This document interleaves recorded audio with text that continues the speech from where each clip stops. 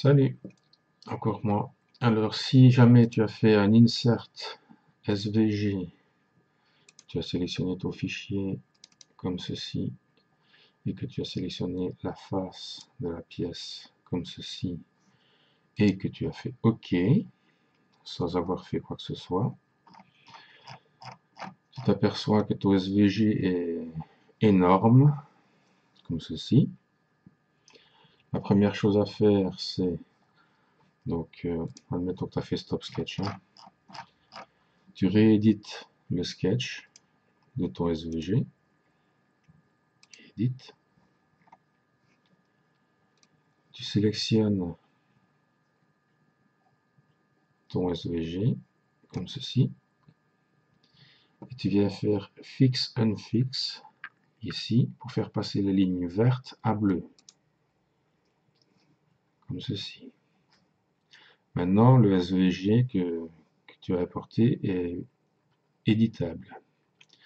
Donc, on recommence, on resélectionne, on va faire Sketch, Sketch Scale, et à partir de là, on va déjà réduire l'échelle un petit peu comme ceci, plus ou moins. On fait OK. On resélectionne. On appuie sur la touche M du clavier pour Move. Et à partir de là, on peut déjà lui faire faire une rotation,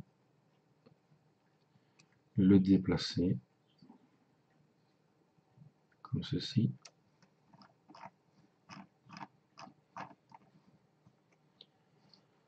Fait OK. On recommence. On sélectionne Sketch Scale. Et on réduit jusqu'à ce que le colibri rentre dans la pièce. On fait OK. On sélectionne M pour Move. Et on le positionne on va encore faire le petit poil. Ok, on sélectionne, scale,